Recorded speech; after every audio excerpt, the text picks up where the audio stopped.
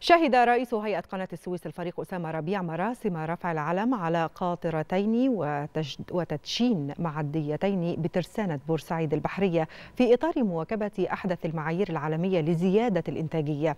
أكد رئيس هيئة قناة السويس أن الهيئة قطعت شوطا كبيرا نحو تطوير وتحديث أسطولها البحري خلال الأعوام القليلة الماضية.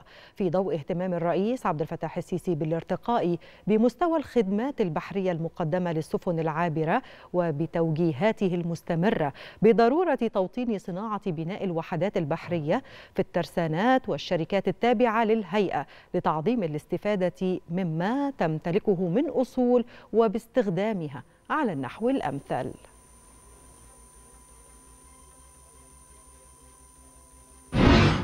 طبعا إحنا جبنا كراكتين أكبر كراكتين موجودين في الشرق الأوسط السنة اللي فاتت ويمكن سياده الرئيس رفع العلم عليهم السنة اللي فاتت الحمد لله.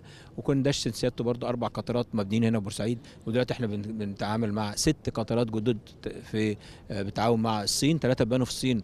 واثنين وصلوا منهم يخشوا خدمة إن شاء الله بعد تدشينهم دلوقتي والثالثه في السكة تخلص آخر ش...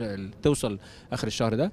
وثلاثه هنبنيهم هنا بالتعاون مع الصينيين الموجودين معانا في ترسانة بورسعيد لتوطين برضو الصناعة. بالنسبة للوحدات النهارده التي تم تدشينها أو رفع العلم عليها اولا في عدد اثنين قاطرة قوة شد 75 طن شد 75 طن يعني وبطول 32 متر عرض 11.8 من عشرة غاطس 5.4 من عشرة متر.